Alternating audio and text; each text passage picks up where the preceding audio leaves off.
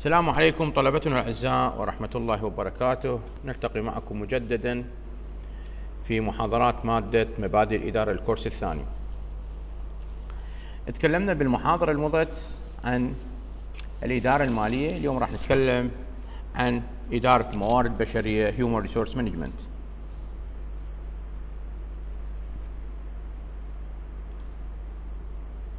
بالتأكيد هي تعد إدارة الموارد البشرية أساس لكل الوظائف الإدارية.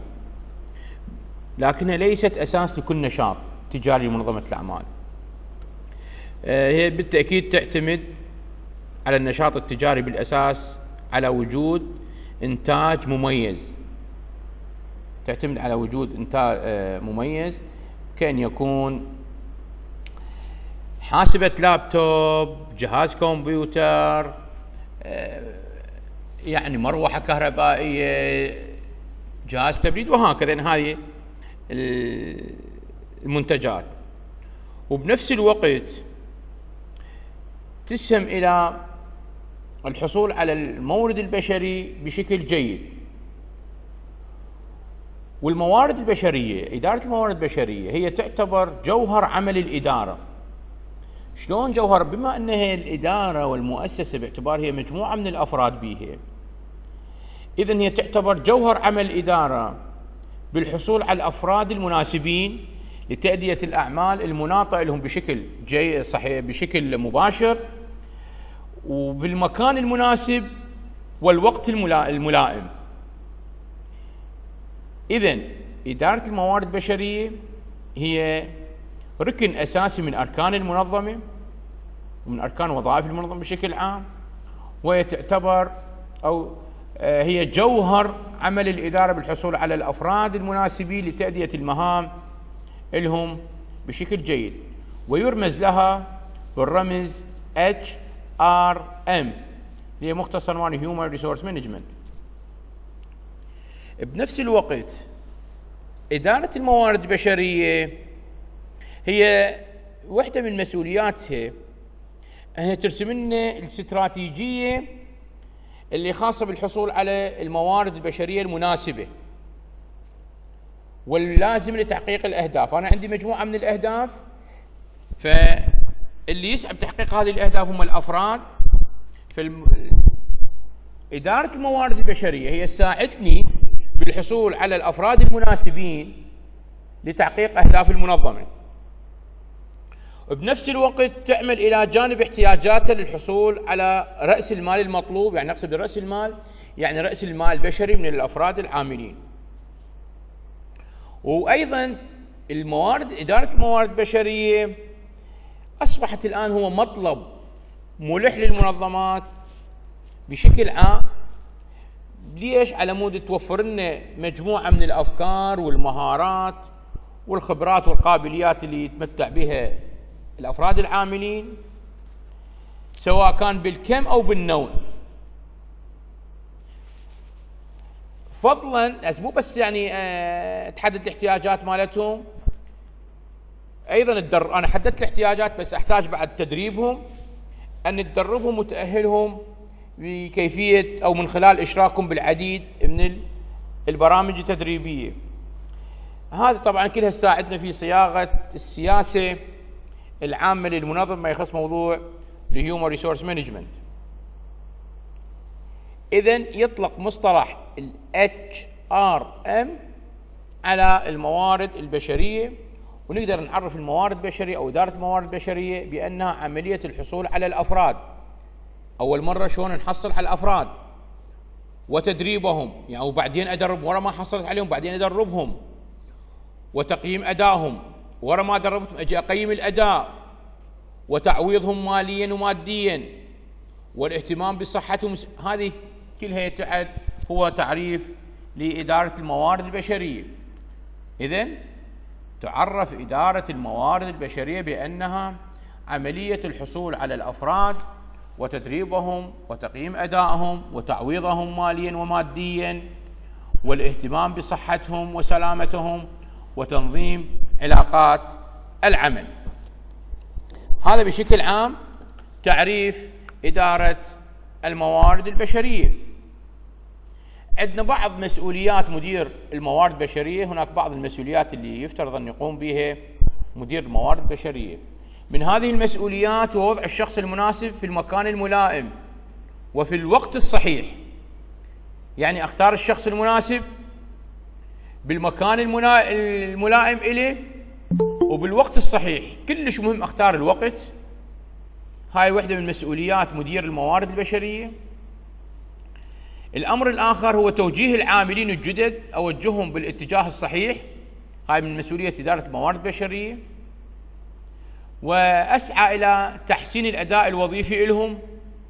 أنا شلون أحسن الأداء الوظيفي لهم؟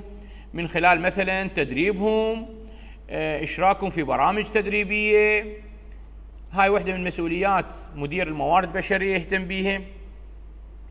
وأيضا واحدة من مسؤوليات مدير الموارد البشرية هو تحقيق علاقات عمل سليمة وإدامة الروح المعنوية للعاملين في أرجاء المنظمة يعني لازم أخلق جو مناسب للعمل وبنفس الوقت أعمل على تطوير القدرات والمهارات والقابليات للأفراد العاملين والرقابة على أنشطة العاملين أشوف الأنشطة مالتهم أراقبها بشكل صحيح. وتفسير القوانين وتوضيح الإجراءات يعني واحدة من مسؤوليات مدير الموارد البشرية أن شلون يفسر لي القوانين ويوضحها بشكل أكثر. والمحافظة أيضا على صحة وسلامة العاملين. كلش مهم أن أهتم أنا كمدير human resource management أعمل على المحافظة على صحة وسلامة العاملين. هاي ما يخص موضوع مسؤوليات إدارة الموارد البشرية أو مسؤوليات مدير الموارد البشرية. هناك بعض الأهداف اللي تسعى لتحقيقها. إدارة الموارد البشرية أولا الهدف الأول هو هدف التوظيف. يعني شنو أقصد بهدف التوظيف؟ طبعا هذا موضوع هدف التوظيف. دائما يشغل بال مدراء الموارد البشرية. اللي أقصد به بهدف التوظيف يعني كيفية ضمان تأدية الأعمال بالكمية والنوعية المناسبة من العاملين.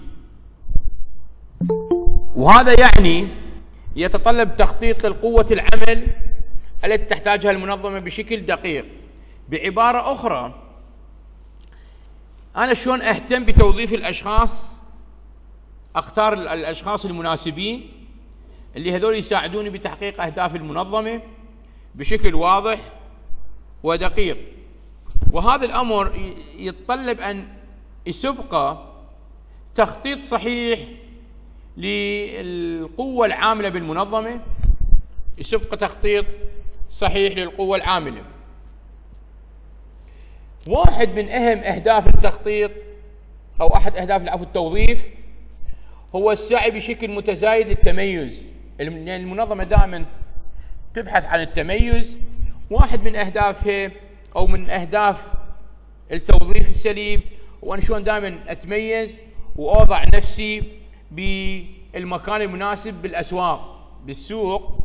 شلون أوضع نفسي بالمكان المناسب إلي. هذا بشكل عام هدف التوظيف. الهدف الثاني هو هدف الأداء. هدف الأداء هو حالما تكون قوة العمل المطلوبة في المكان المناسب.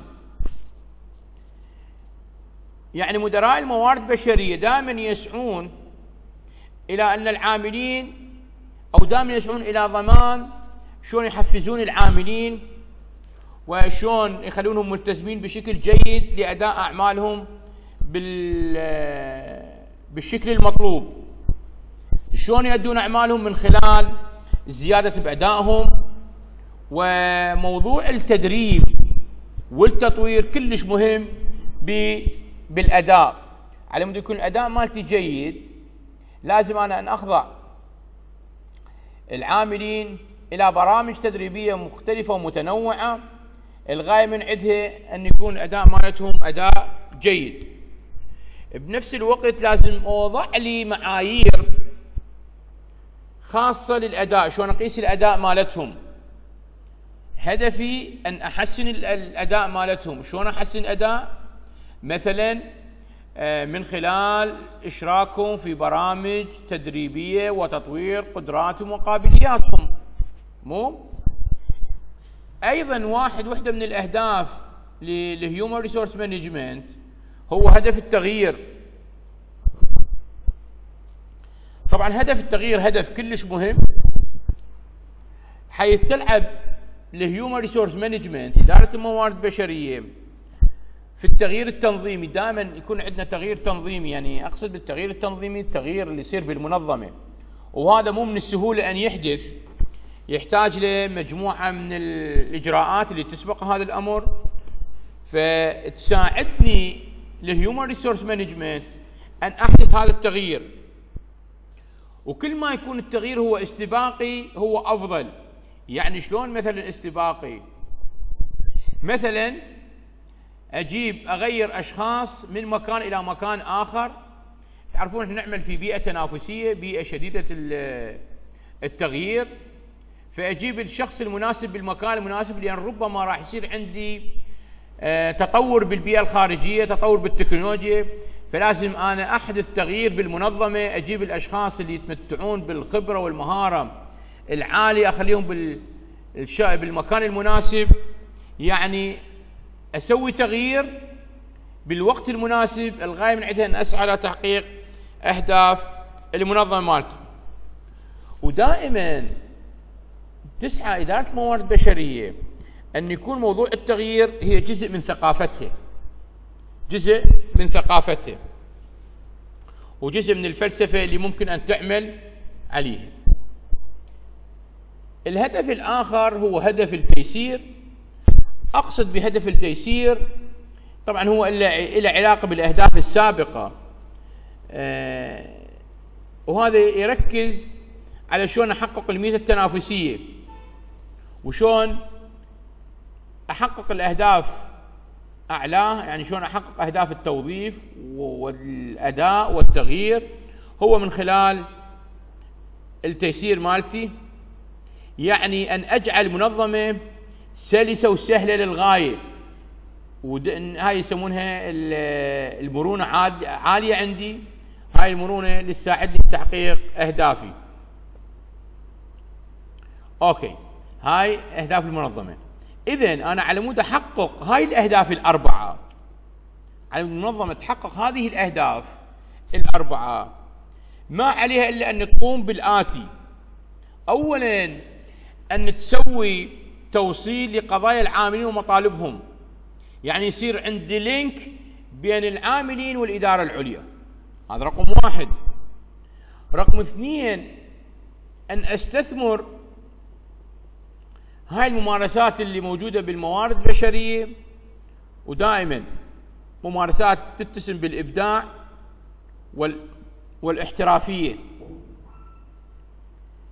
الأمر الآخر هو أن أعتمد على العلاقات والتعاون وبناء الثقة بين العاملين فيما في, في بعضهم البعض مع بعضهم البعض.